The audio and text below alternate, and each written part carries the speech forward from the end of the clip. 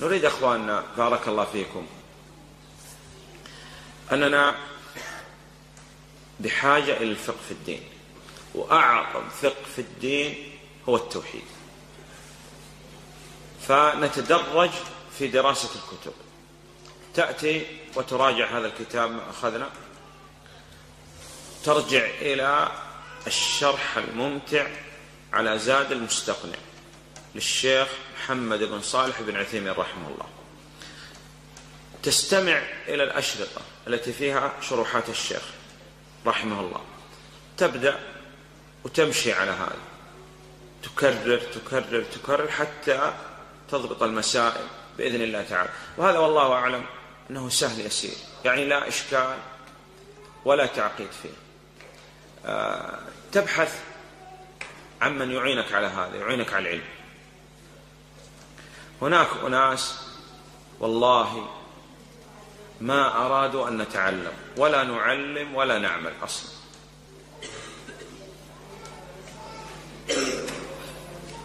النبي صلى الله عليه وسلم قال خيركم من تعلم القرآن تعلم القرآن وعلمه.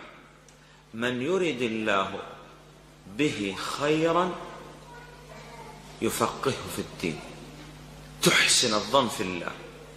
وتقول والله أن الله سبحانه وتعالى من نعمه التي لا تعد ولا تحصى اختارني أن أكون طالب علم.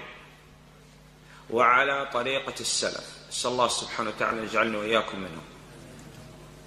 وتسير على هذه الطريقة. تحفظ تراجع تضبط تأتي مع إخوانك وتتذاكر.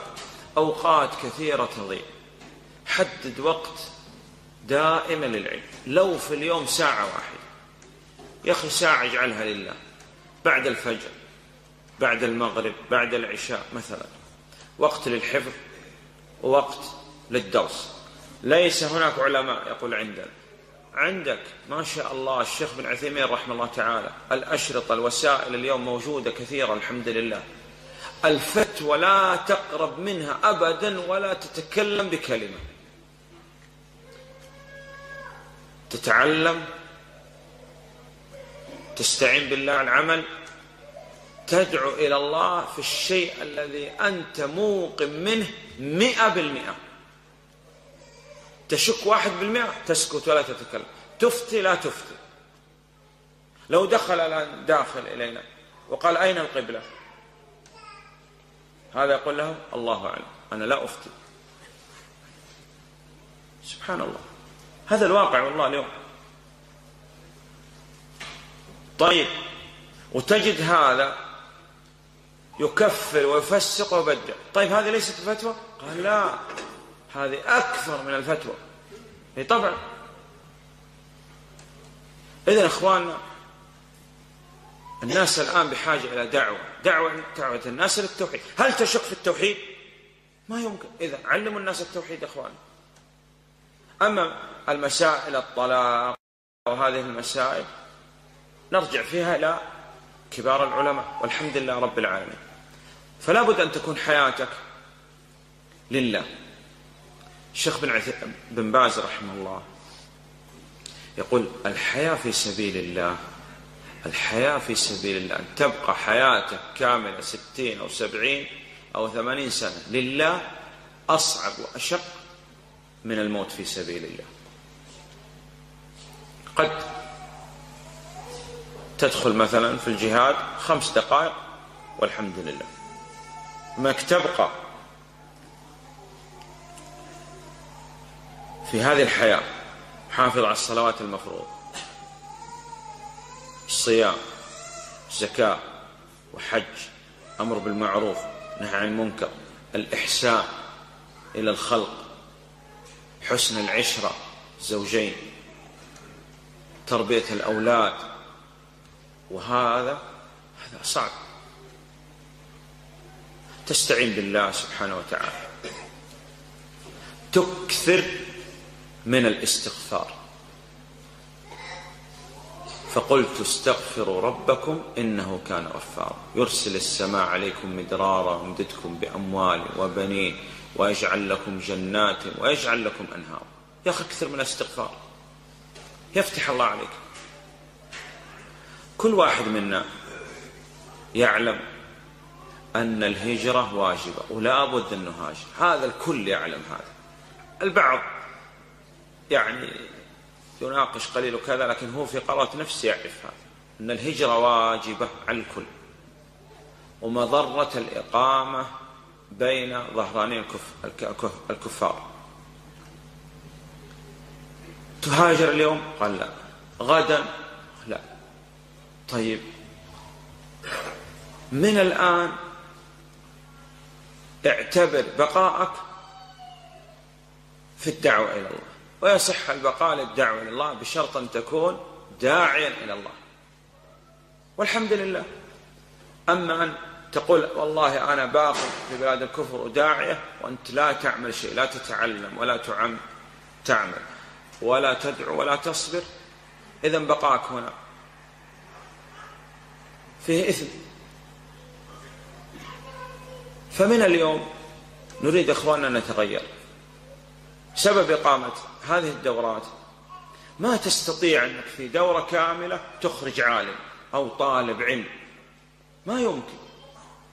هذه مفاتيح.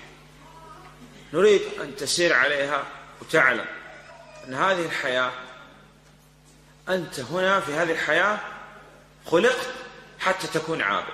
إذا اشتغلت في هذه الحياة بعبادة الله سعدت. فتعمل قدر المستطاع. أوقات الحمد لله عندنا. يا إخواننا قد تكون داعية إلى الله بفعلك. وأنت تعرف هذا أكثر مني. الإشكال أن البعض في كل يوم يزداد والبعض الآخر في كل يوم ينزل ينزل ينزل حتى نسأل الله السلامة والعافية الهاوية. فلا بد أن تتغير. تغير تدعو تصبر تأمر بالمعروف تنهى عن المنكر. إخواننا انشر التوحيد. بالله هل يعرض الدين الإسلامي على عاقل ويرده؟ والله ما يرد عاقل. إلا متكبر معاند. نعم كما حصل من فرعون. نستطيع أن ندعو إلى الله بوسائل كثيرة رسائل الجوال رسائل الإنترنت. بعض المطويات الآن ما شاء الله بكثرة. راسل من كانوا معك في الدراسة من يعني هم بقربك من المنازل وكذا. في محطات القطار تعرف أنه الغالب أن هؤلاء عندما يركبوا القطار أو الطائرة وكذا يريدوا أن يقرأوا أي شيء. تعاون أخواننا مع أخوانكم في أبواب الخير قدر المستطاع. كنتم خير أمة أخرجت للناس. هذه الأمة أفضل الأمم. بماذا؟ تأمرون بالمعروف وتنهون عن المنكر وتؤمنون بالله. يبقى يعني نصيحة لأخواتنا. وهو ما ذكرنا من قبل. أن أعداء الإسلام أرادوا إفساد المرأة ولبسوا عليها بالحضارة والتقدم وما إلى ذلك ونزع الحجاب ترك الصلوات وفعل المنكرات واجتناب المأمورات. فإياك السماع لهؤلاء. من ينادي بالحرية في هذه الأيام هو في الحقيقة ينادي إلى عبودية الشيطان الذي يقول لك أنا حر أفعل ما أريد وما أشاء. هذا في الحقيقة عابد للشيطان. خلقت حتى تكون عابد لله. إذا فررت من هذه العبودية وقعت في عبودية الشيطان. فروا من الرق الذي خلقوا له وبلوا برق النفس والشيطان. من قال لك أنك تفعل ما تشاء وكذا؟ خلقت حتى تكون عابد. نحن قوم أعزنا الله بالإسلام. مهما ابتغينا العزة بغيره أذلنا الله. كل واحد منا لا بد أن يسأل يوم القيامة ويوم يناديهم فيقول ماذا أجبتم المرسلين سائلك الله يوم القيامة عن المرسلين عليهم الصلاة والسلام عن نبينا عليه الصلاة والسلام هل أدى الأمانة؟ نعم نصح الأمة؟ نعم بلغ؟ نعم جاهد في الله حق جهاده؟ لا بد أن تقول نعم سائلك الله عن هذا الذي جاء به النبي صلى الله عليه وسلم هل تعلمت؟ هل عملت؟ هل دعوت؟ لابد أن تجيب عن هذا السؤال ابن القيم رحمه الله يذكر أن العبد إذا يسر الله سبحانه وتعالى له أبواب الطاعة ولم يغتنمها حال الله سبحانه وتعالى بينه وبين الطاعة. وما استطاع أن يغتنمها حياته كاملة. إذا فتح الله سبحانه وتعالى لك أبواب الطاعة. طلب العلم الكتب اتصال الأشرطة المساجد الدورات الاتصال بالعلماء. إذا فتح الله سبحانه وتعالى لك أبواب الطاعة ولم تغتنمها قال حال الله سبحانه وتعالى بينك وبين الطاعة. وما تستطيع أن تغتنمها حياتك كاملة. لا تستطيع. ما الدليل؟ يقول كثير أدلة كثيرة في القرآن. منها يا أيها الذين آمنوا يا أيها الذين آمنوا نداء لمن؟ للمؤمنين. يعني إن كنتم مؤمنين حقا. يا أيها الذين آمنوا استجيبوا لمن؟ لله وللرسول إذا دعاكم لما يحييكم. تستجيب مباشرة. استجيبوا لله والرسول إذا دعاكم لما يحييكم. ثم جاء التحذير قال واعلموا. انتبه.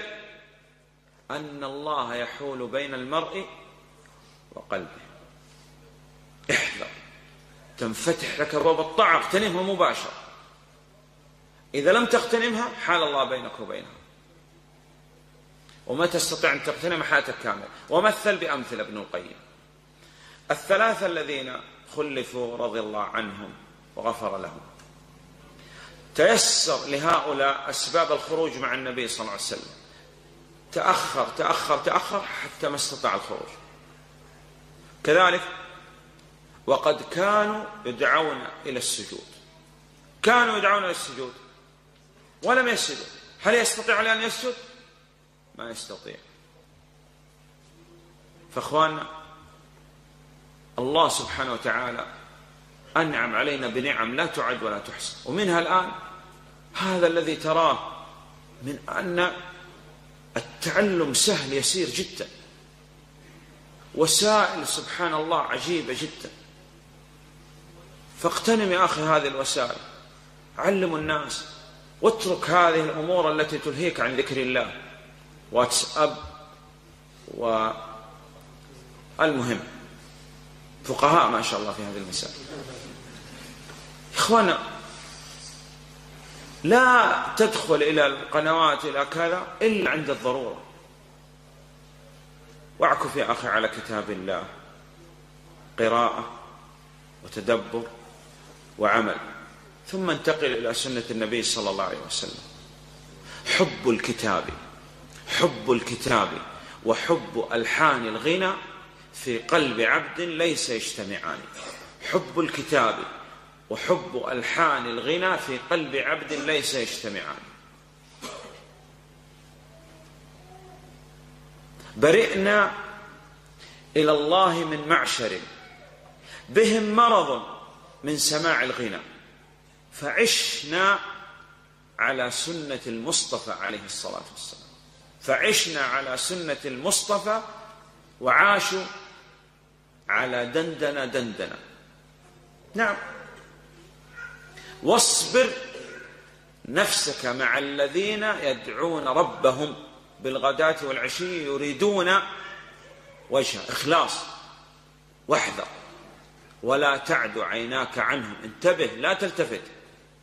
تريد زينة الحياة الدنيا بورش. فتن متاع الدنيا. زائل ولا تعد عيناك عنهم تريد زينة الحياة الدنيا. ولا تطع.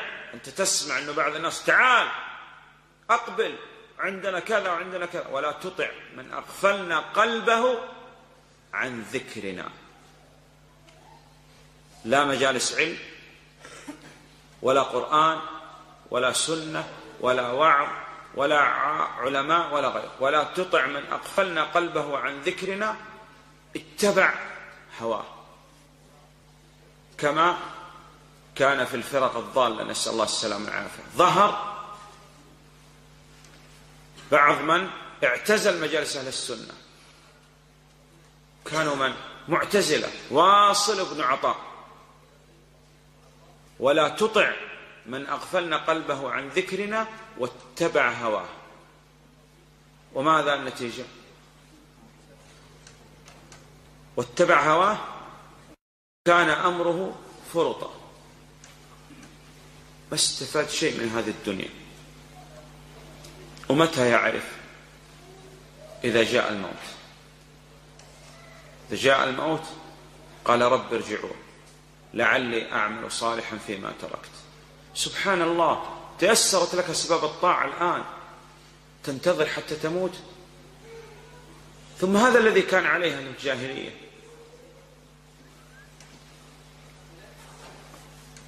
يقعدوا بكل صراط. يصدون الناس عن الدين عن السنة عما كان عليه السلف. نعم. فأخواننا يعني هذه الأمة تحتاج إلى رجال صدقوا ما عاهدوا الله عليه.